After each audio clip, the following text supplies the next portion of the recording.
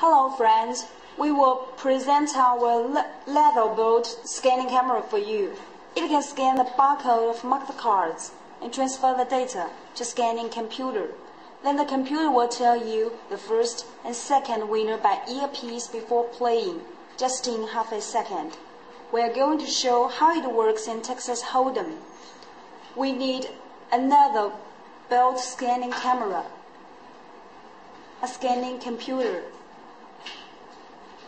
an earpiece, and mark the cards. There are six players in the game.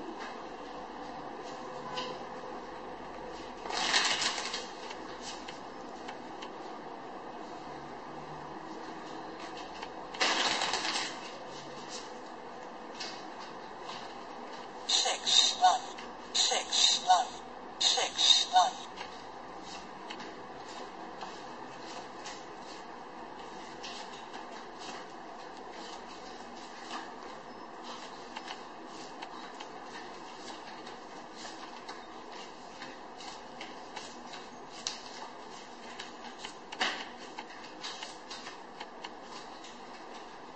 Now you can see the sixth player is the first winner and the first player is the second winner.